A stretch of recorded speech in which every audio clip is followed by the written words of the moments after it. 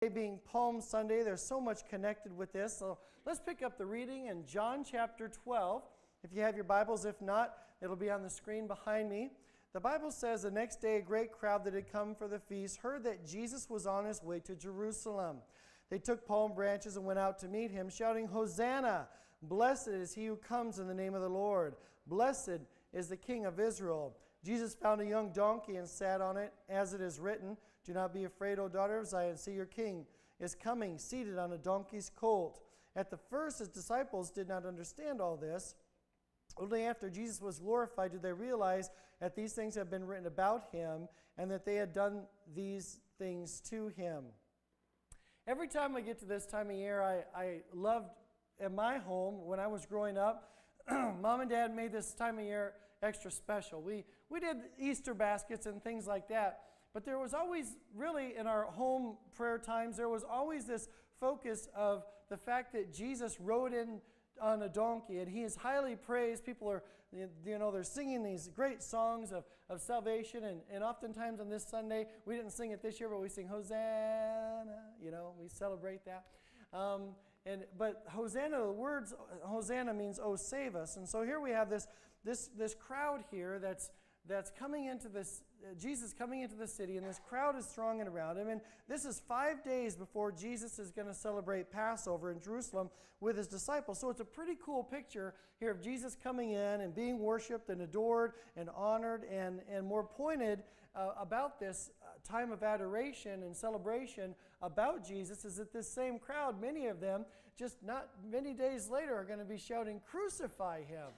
And so we have kind of an oxymoron with their, um, with their whole attitude and their character about what they're, who they're going to believe in. And so if we back up a little bit in John chapter 12 to verse 9, I want to read uh, verse number 9. In fact, the, the Bible tells us that the chief priests were already making plans to kill him and Lazarus as well because as you know, Jesus rose Lazarus from the grave. In verse 9 it says, Meanwhile, a large crowd of Jews found out Jesus was there and came not only because of him, but also to see Lazarus, whom he had raised from the dead.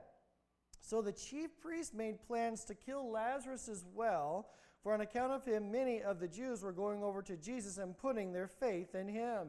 I would suppose so.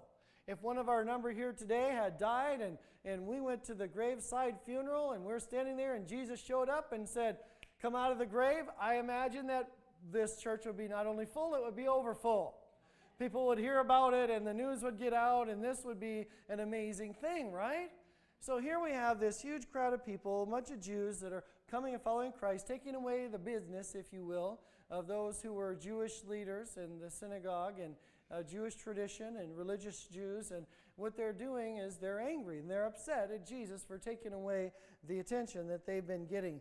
Uh, they plotted to kill Jesus even before he came into Jerusalem. And, you know, it's pretty amazing to see how the strategy and voice of these really satanically inspired leaders can turn the crowd so quickly. And they're only really just part of the, of the fulfillment, though, that was happening to Jesus. The reason that he died is for us. Uh, we can get in, we can talk about the, the, the view from on top of the palace and what must have been happening in the soldiers' eyes as they look at this massive crowd gathering and the stirring. The, the Bible says the whole city was stirred as Jesus comes into town. We can talk about the antics of how they acted and, and the donkey he was riding on. But the reason that Jesus came into Jerusalem to give his life was for you and I. He did that because of us. Jesus died, quite frankly, because of our unrighteousness. I want to read a lengthy portion of scripture, again paraphrase the message from the message today in 2 Corinthians chapter 5 verse 14 all the way down through verse 21. Follow me if you can. Our firm decision is to work from this focused center. One man died for everyone. That puts everyone in the same boat. He included everyone in his death so that everyone could also be included in his life, a resurrected life, a far better life than people had ever lived on their own. Because of this decision, we don't evaluate people, uh, excuse me, we don't ev- uh, evaluate people by what they have or how they look. We looked at the Messiah that way once, and we got it all wrong, as you know. We certainly don't look at him that way anymore. Now, we look inside, and what we see is that anyone united with the Messiah gets a fresh start, is created new. The old life is gone, a new life burgeons. Look at it. all comes all this comes from the God who settled the relationship between us and him and then called us to settle our relationships with each other. God put the word square with himself through the Messiah, giving the world a fresh start by offering forgiveness of sins. God has given us the task of telling everyone what he was doing. We're Christ's representatives. God uses us to persuade men and women to drop their differences and enter into the work of making things right between them. We're speaking for Christ Himself now. Become friends with God. He's already friends with you. How? You say, in Christ. God put the wrong on Him who never did anything wrong so that we could be put right with God. I like the way the NIV puts that. God made Him who had no sin to become sin for us that we might become the righteousness of God. Now, I'm sure you've heard people talk about the word righteous a lot. Righteous dude used to be a statement, remember? Righteous dude. I mean, some uh, crazy people came up with that, I think. I think I've said it myself before. But in the context of this kind of righteousness, that is really nothing to compare. In 2 Corinthians here, Paul really hits home this idea that there was nothing good about us at all, but it is the righteousness of God that has made us complete. Jesus died because of our unrighteousness, because of our sin, so that we could become, become the righteousness of God.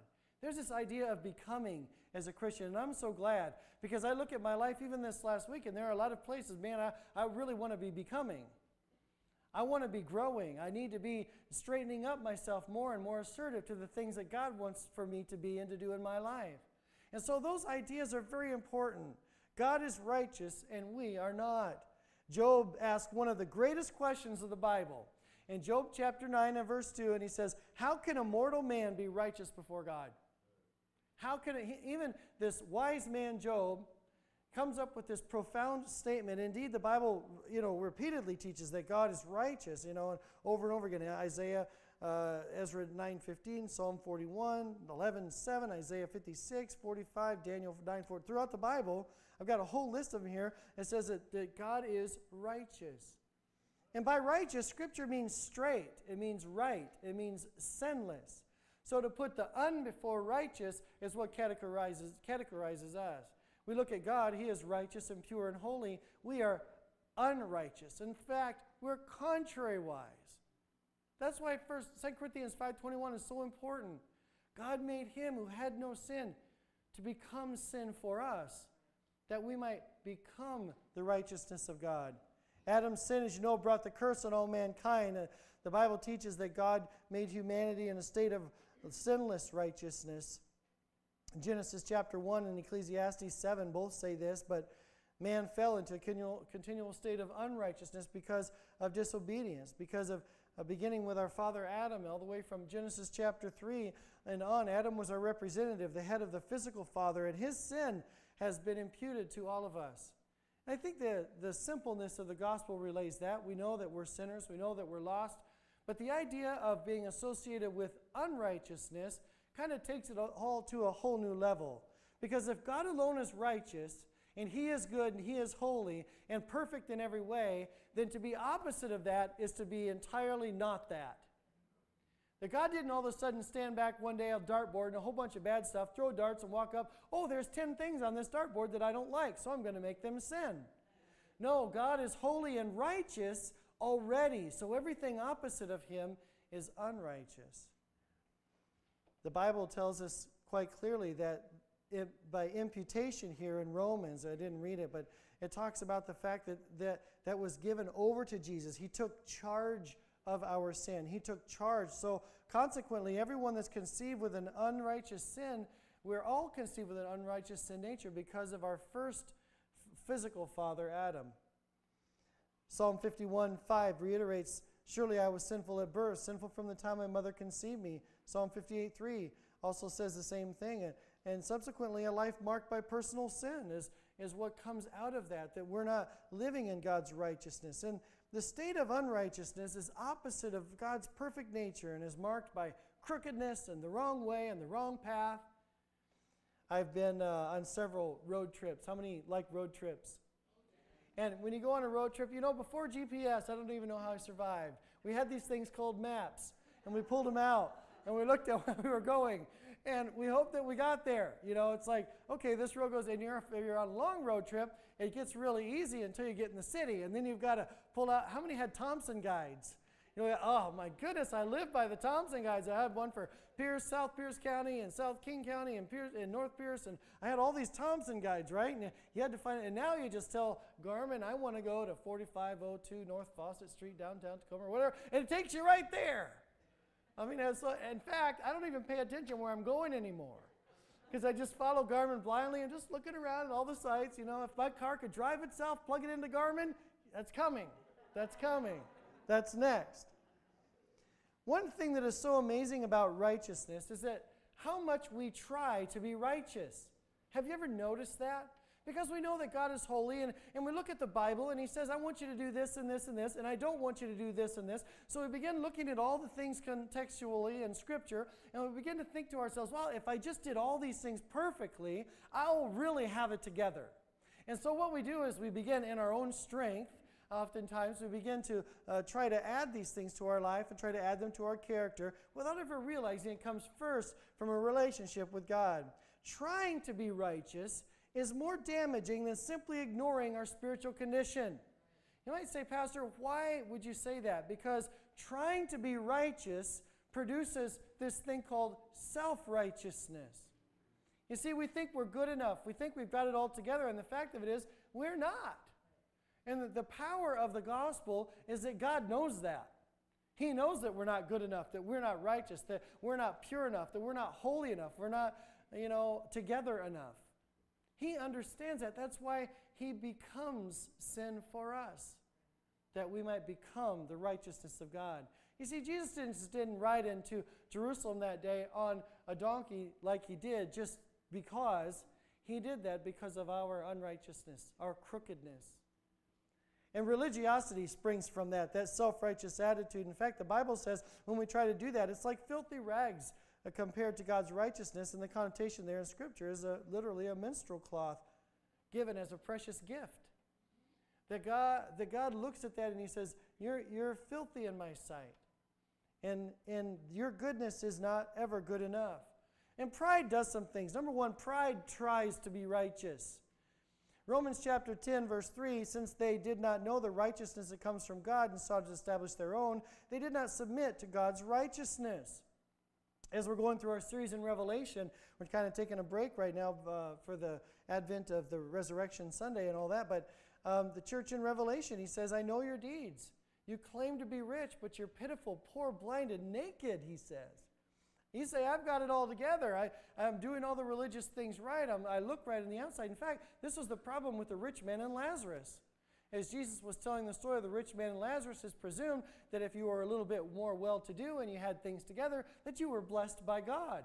And Lazarus must not have been because he was covered with boils and he died a horrible death.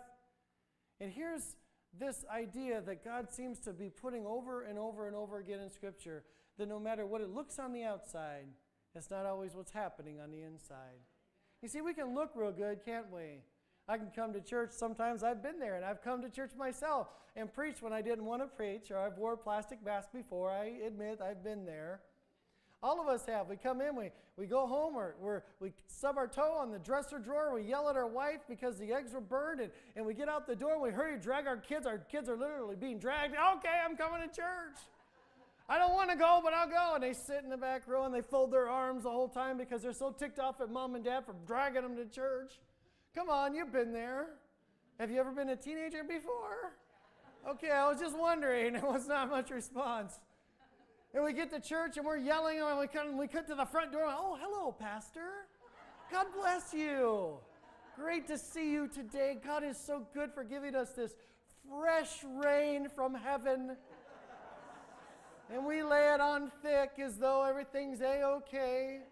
And righteousness is only something that can be done on the inside. You see, the seven sons of Sceva learned this lesson. So we have this guy, he's got seven sons. I have four. I love having four boys. I know what it'd be like to have five or six or seven, but he's got seven. I can only handle four, I think. Or they can only handle me. Maybe it's the other way around. He's got seven sons, and in their righteousness, their own righteousness, because they think that they know how to do things. There's a demon possessed man, And they come and they say, you know, and, G, and the one, the Jesus that Paul preaches, you know, we're going to cast this demon out. And the demon says to them, Well, I know him and I know Jesus, but who are you guys? And he beats the seven of them up. The Bible says they leave naked and bleeding. That was some brawl. I mean, if I saw that going on, I'd just run out as quickly as I could. Apparently, probably some tried, but this one guy did that much damage. Why? Because they tried to be righteous. They were wearing a cloak of goodness when on the inside they were not entirely convinced that Jesus was Savior. Perhaps the most devoted people to pursuing self righteousness were the Pharisees, and despite their great self discipline, they did live a very moral life. They were heralded and held up high because they were so good. Jesus, Jesus really says, in fact, he declares that unless your righteousness supersedes theirs, you would end up in hell right along with them in Matthew 5:20. In other words, if you don't look as good as they look, if you don't look better than they look and behave better, than, because that was the standard of the day, that that was the Mother Teresa of the day. You have to act perfect just this way because if your righteousness doesn't exceed the very best that humankind can do, you will never inherit the kingdom of God. You'll be in hell. Wow, that's an eye opening statement, isn't it? And Jesus says it so plainly, it just rolls off of his tongue as though it's not, because it is natural. He understands that being convinced and looking that way is different from being convinced on the inside. Pride says, I can do this myself, and no, man can, no one can tell me what is good because I already know what's good. We have a person we've been witnessing to our family, and and she thinks she keeps coming back. Her statements are because I'm, I'm a good person and I do good things and, and all of this, that, that I'm okay. And she'll push us off. Push. I'm sure you know people like that, right? You've been trying to plant seeds. And, and what we do is we keep loving her, we keep, uh, uh, we keep reaching out to her, we keep doing these things. And, and people think that, and the world's been disguised by this because maybe the church has sold it, that, that we look good on the outside, so we must be really good. And God says, wait a minute pride, that kind of pride transforms your thinking and, and makes the mind filled with self. Pride is reckless. Proverbs 16, 18 says, Pride goes before destruction, a haughty spirit before a fall. Pride is foolish. Proverbs 11, 12 says, When pride comes, then comes disgrace, but with humility comes wisdom. Pride is selfish. Pride is the centerpiece of all problems. Did you know that? Proverbs says, Pride is the source of all contention. All contention. That means if there's contention, there's pride somewhere. Pride is selfish.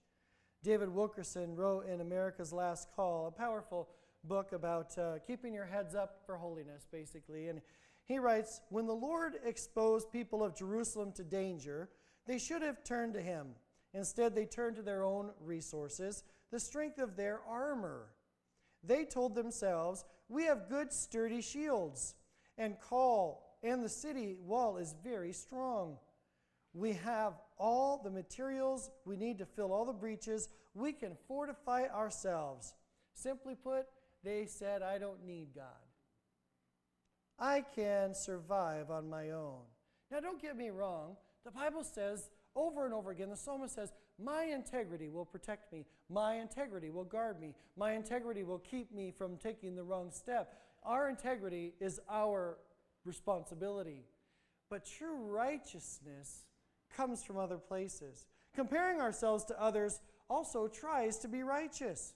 I'm sure you've heard this. Well, at least I'm not like so and so. Luke chapter 18, um, um, verse 9, Jesus tells this, and he says, Two men who were confident in their own righteousness and looked down on everybody else, Jesus told this parable. Two men went up to the temple to pray one a Pharisee and the other a tax collector. The Pharisee stood up and prayed about himself God, thank you that I'm not like other men, robbers, evildoers, adulterers, or even like this tax collector. The gall of this guy, right?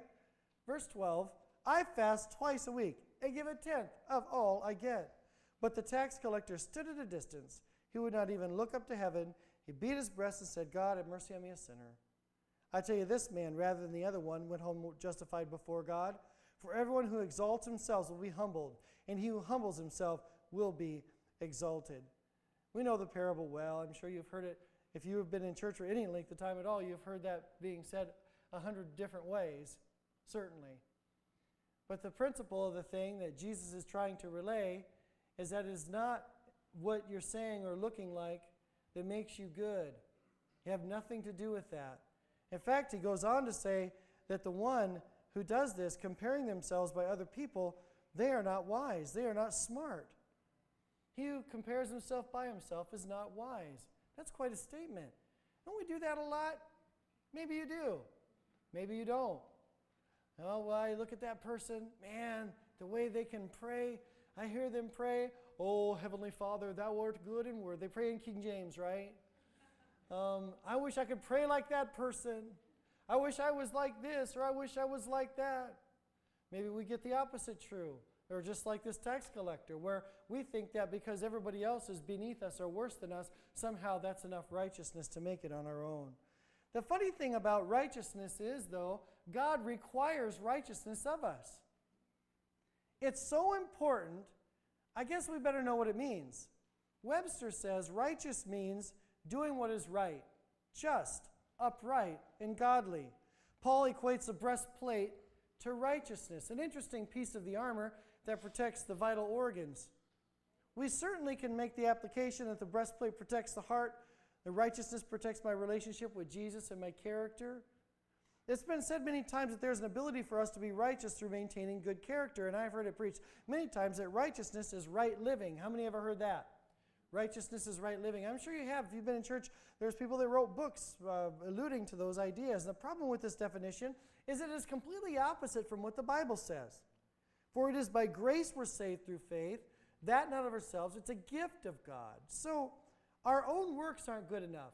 I remember one time we were at Central Bible College, and there every year they have the missionary conference there, and the missionaries would come in uh, from all over the world that were available on their itineration schedules, and they did this every year. And every year we would set up for it, and all the missionaries would come. We'd have this great missions conference, and, and just like we do here every January, similar except on a much larger scale. You know, a couple thousand missionaries in this place, and in, in Springfield, Missouri, God's holy anointed place for the assemblies of God. I still bow that way every morning when I pray. Uh, no, but in spite of the assemblies of God, there's a lot of things on board the ship, but she's still floating. Um, it was a wonderful experience because from all over the world we have these people that come in and, and they, they share what God is doing in through their ministry. Some were having a hard time. Those that come from Europe, they're having a hard time. The ground is rocky and hard. And, and some of those are coming from South America. Oh my goodness. It's like revivals busting out, and we just wanted to touch, be close. You've ever heard communicators like that? You just wanted to be close to them. You wanted to hear, they wanted to talk. You just, man, if I could just touch you for a second, I might, some of it might rub off. And listening to them over and over again tell their stories. And, and one of the guys that was uh, telling their story was, was uh, from Indonesia, and he was relaying the fact that that they were on this little boat going from one island to the other and and they didn't know what was going to happen because some guys had got on board the boat that were a little nefarious looking and they started taking over and, and they were going to they started shooting people that were on the boat and this one woman who didn't know what else to do they came to her and they were going to um, do something to her and, and she fell on her knees and she began to pray for them and call on the name of the lord and they left her alone they got the boat they laid down their guns and i hear stories like this and i'm going god i want to see these things in america I want to see President Obama fall on his knees before you and say, God, we need to return to you again. I, that's the kind of stuff that I want to see. And I began to recognize something about what he was saying in his story as he was telling the story. He said, You know, oftentimes we come to church, and what we do is we, we, we kind of act like God is really moving, when in our lives we know less of that experience. We have not had the impact of God really in our life, of a, of a life living, following Him, expecting, and anticipating His power and His presence to really be there. And so we come to church oftentimes putting on the face of God that He is really here when oftentimes He is not. You know, friends, do you come to church anticipating, expecting? Do you live your life every day waking up anticipating what great things that God will do? Are you working in your own strength? You know, Paul says in Romans chapter 9, verse 30, What shall we say? That the Gentiles who did not pursue righteousness have obtained it, a righteousness that is by faith, but Israel who pursued the law of righteousness has not attained it? Why not? Because they pursued it not by faith, but as if it were by works. The stumbled over the stumbling stone. You know, there is a place where it's really cautious and careful that we watch that the living that we're living is coming from the inside. And you've heard me say a thousand different ways. If you listen to what comes out your mouth all week, it'll tell you what your heart's like. Jesus says, out of the abundance of the heart, the mouth speaks. And, and sometimes we talk so depressed, we talk so angry, maybe foulness comes out of our mouth. These are just outward, visible indicators of a lack of the presence of God in our lives. Don't forget, there's more fingers pointing at me than there is you. Galatians 2:16, so beautiful. A lot of scripture this morning, I know. Know that a man is not justified by observing the law, but by faith in Jesus Christ. So we too have put our faith in Christ Jesus, that we may be justified by faith in Christ, not by observing the law, because by observance, by observing the law, no one will be justified. If while we seek to be justified in Christ, it becomes evident that we ourselves are sinners, does that mean that Christ pronounced sin? Absolutely not. If I rebuild what I destroyed, I prove that I'm a lawbreaker. For though the law, uh, for through the law I died to the law, so that I might live for God. I have been crucified with Christ. I no longer live, but Christ lives in me. The life I live in the body, I live by the faith of the Son of God who loved me and gave himself for me. I do not set aside the grace of God, for if righteousness can be gained through the law, then Christ died for nothing.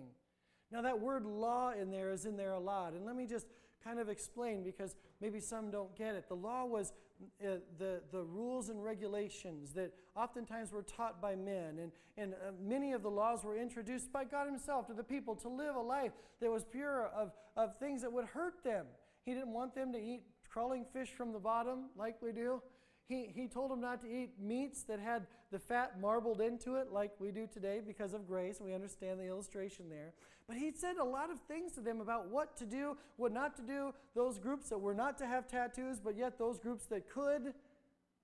Just don't get a tattoo, you'll be ashamed of years later, and especially when the sin starts, skin starts to sag, may not be as appealing as it once was. I don't know why. Hello? Hello? Um, but he was, he was saying the law, all the rules, all the things, the do's and don'ts, all these things that you do or you're not supposed to do, all the do's and don'ts. He says those are the law. That's the law. he said if perfectness or righteousness or salvation could be earned by keeping those rules, then hey, the Jews got it made. But he said it doesn't. He said it doesn't. Righteousness, better termed, is right standing before God. So, if righteousness is not truly right living, it is right standing. And in light of these scriptures, we can truly define righteousness as standing before God in His presence, knowing that we are covered with the blood of His Son. That's why I love that song we sang earlier this morning Boldly I approach your throne. What other person could boldly approach a throne except the son or daughter of the Father? What is it like when your son or daughter runs up to you and they need your help or they need your aid? As they get older, if they run up to you, they might knock you down. My boys do, they're so big now. But when they're little, they run up to you and you, you open your arms and you embrace them. Even if they've been in sin, even if they've done something wrong and need to be corrected, you still embrace them. You still love them as a loving father would do in bringing the absolute necessity of correction. But our loving Father does the same thing. He, he applies the, the, the blood of, of His Son applied to our life. And so He looks at us through these eyes of grace. 2 Corinthians 1.22 puts it this way, that He set His seal of ownership on us and put His Spirit in our hearts as a deposit, guaranteeing what is to come. Are you experiencing that deposit of His Spirit, friends? Does your spirit rejoice when you worship? Are you made alive when you read His Word? Do you come alive when you hear about the good things of God? Is the Spirit of God dwelling in you? Is He living in you? True righteousness is based on a genuine relationship with Jesus, of course. It's true that I can do a lot of things on my life to gain some protection in this life, and righteousness, the Bible says, does protect us, but the covering of Christ's righteousness is complete. The illustration of the breastplate is, again, uh, uh, uh, communicates that offensive weapons are trying to penetrate my life. They're trying to, to hurt me. They're trying to take charge of the, the things of my life that, that cause me to tick and hurt my heart. There are so many connotations of righteousness in Scripture. It's too exhaustive for, for this short sermon this morning. But if, if you study Scriptures, it says that we are clothed in righteousness. We stand before God in His righteousness. We're conquerors through righteousness. Righteousness leads and guides our steps. Righteousness seats us in heavenly places. Righteousness exalts station, nations and destroys enemies. Through righteousness, the Bible says we are more than conquerors. But a righteous man's home is protected, and a woman's work through righteousness is blessed. Through righteousness, children are blessed, and righteousness uh, produces a rich reward. Righteousness delivers from death, produces peace and genuine love. Righteousness looks down on the earth and blesses it with fruit, the Bible says. Your name is known because of righteousness. When the world falls, righteousness keeps you standing, Scripture says. Judgment and peace come through righteousness. Righteousness formed the earth. Righteousness produces justice, and poor men are made rich because of righteousness. Righteousness upholds the oppressed and cures the depressed. Righteousness gives more pleasure and contentment than riches, the Bible says. Righteousness redeems us. There's a lot of things righteousness does. That's quite a list of stuff. When you look at the Bible and you just pull those little tidbits out like I did, you can take any Strong's or, or Bible uh, concordance on your computer and it'll explode with the things that, can, that righteousness does. And it's a beautiful thought. So we must have it. And it can't be earned on our own. Friends, oftentimes we say and we equate character with righteousness, but the righteousness that God requires is a righteousness that only He can pay for. Now, I believe God's righteousness, of course, will produce good character. There's so many associations to be made with righteousness and how it produces character because it first comes from a growing relationship with Jesus Christ. Jesus fulfills all the requirements righteously of the law compassionate toward us, our eternal God. Jesus became man because Jesus did not have an earthly father. He, he was not a father descended from Adam like we are. So we have that sin nature. We have that, that desire to be unrighteous, even putting on the mask, if you will, and, and looking right on the outside. And God's calling for a people. I can imagine what, what would happen if God's people in His churches all across the city here in Lakewood, South Tacoma, if we would get energized with the, with the Spirit of God in the inside and be letting that out, that would be a different kind of church. It would not be a religious one, it would be a righteous one. Righteous, dude. Unlike the first Adam who sinned, Jesus lived a righteous perfection. Romans 5:12 he resisted temptation to sin. He fulfilled all of God's laws. He fulfilled all righteousness. I think there's one more thing too. He died as the only righteous man who has ever lived the only righteous man who's ever lived. Uh, get that in your head. Can you wrap your brain around that? That all of us are unrighteous. No, not one, the Bible says, for we've all sinned, Romans 3 and fallen short of the glory of God. There's not one righteous. But the only one who was died. He gave his life for us. I think as we look at Jesus riding into the city, he's not just riding in just uh, because it's a good thing to do, just to be adored and worshiped in that moment. Man, he's coming in because he was going to die for unrighteousness. In his death, the righteous Jesus stood in the place of sinners, paying for our sin, which is death. So the people who are righteous in God's sight are made so because of Jesus. So the answer to Job's question is that an unrighteous person can stand before righteous God not by our own work, but solely by trusting in the person and work by faith that is in Jesus. Jesus alone is our righteousness. The Bible says he makes us righteous people, Ephesians 4, and enables us to pursue righteousness, to obey Scripture by the power of His Holy Spirit. Aren't you glad? Today, friends, that you live in this New Testament time. When I think about the fact that Jesus came, he rode into the city, and a few short days later, he gave his life on a cruel cross for us and gave his life so that we could know life, dying for our unrighteousness. Just because that we are privy to that information today makes us a different kind of breed than those who lived under the old covenant. You know, those that lived under the old covenant may have understood righteousness and the respect that God was holy and righteous, and they approached him. In fact, the Israelites were so terrified of God, they didn't want to talk to him. They said, Moses, you went up in the mountain, you came down, it was shaking, there was thunder, your head's glowing, it's freaking me out, right? So he says, Moses, you go up the mountain, you talk to God, we'll sit back here. You just kind of tell us what he says. So God was terrifying. God's righteousness was, was something not to be looked at. And, and, and the, the Bible tells us that for us today, our sins are separated because of the cross. But if you were to ask David in the Old Testament, he would say, Our sins are as far as the east is from the west. Now, that's pretty good for an Old Testament king, but that means that our sins are still out there. Our unrighteousness is still out there. Well, David's just a shepherd boy, so let's ask a prophet Hosea, Hosea, what about our righteousness? What about God's righteousness? What about our sins? He would say they're in a deep sea in the hole, they're in a deep hole in the sea. That's great, but they're still out there. So let's move up away from Hosea to the big leagues, the major prophet. Let's talk to Isaiah. Isaiah, what about our sins? What about our unrighteousness? The Bible says that Isaiah would say they are behind his back. Well, that's good, but they're still out there.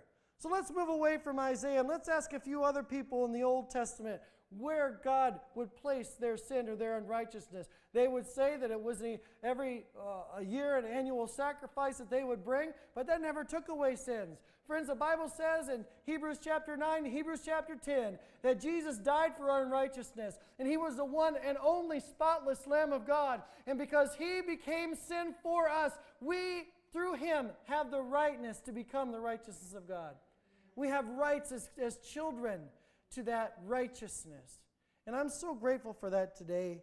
I like that 1 John 3 1 because it's got a sloppy word in it. I think it's sloppy, and I'll explain what I mean by sloppy.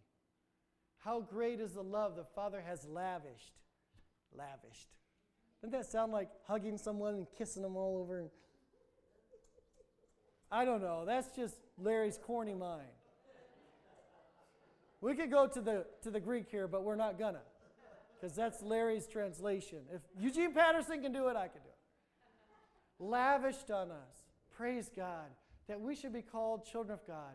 And that this is what we know. The reason the world does not know him is that uh, does not know us is that it did not know him. How great is the love the Father has lavished on us. Jesus died for our unrighteousness.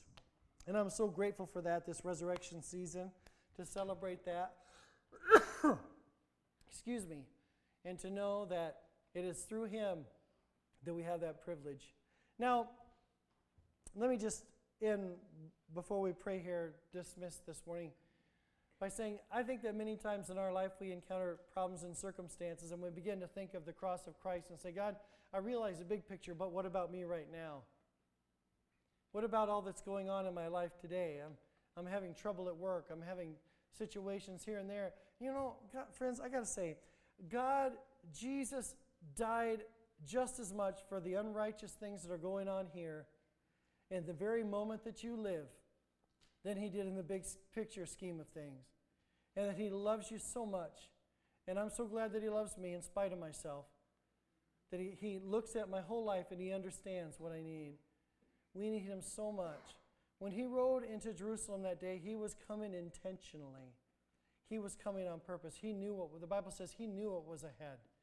The cross was before him. And I'm so glad that he came and gave his life so that we could live life for eternity and for right here. A life filled with his joy and make us complete. Praise God. Amen. Stand with me, would you?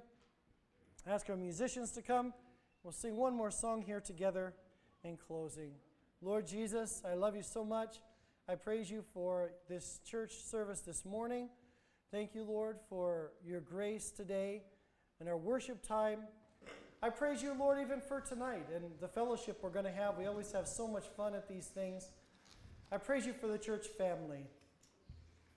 But God, more intimately and securely this morning, we just say we want to praise you that you died for our unrighteousness that when you were riding, you rode into the city on purpose, intentionally knowing what you would give so that we would have life. When I praise you for that. I just ask God today that your Holy Spirit will communicate to each one of our hearts in this building that we have a responsibility to, to respond to your righteous call. That you have planned for righteousness in every one of us, Lord, and maybe some of us are living far from there. So we give that to you right now. I want to ask you, friend, in this place, as you've been here,